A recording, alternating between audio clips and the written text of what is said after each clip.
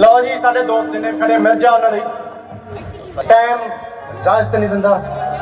ਤੇ ਥੋੜੇ ਥੋੜੇ ਗੀਤ ਤੁਹਾਡੇ ਕੁਝ ਪੇਸ਼ ਕਰੇ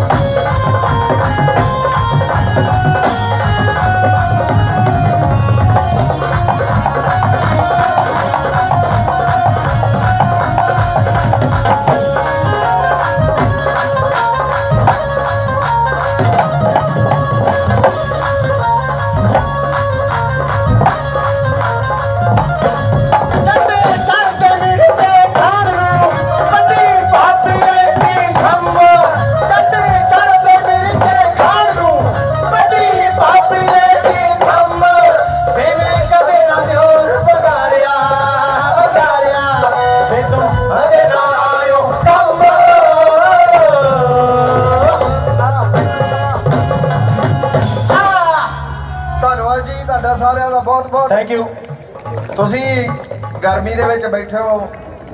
ਤੁਸੀਂ ਵੀ ਧੰਨ ਹੋ। ਤੁਹਾਡਾ ਆਸ਼ੀਰਵਾਦ ਸਾਡੇ ਸਿਰ ਦੇ ਉੱਤੇ।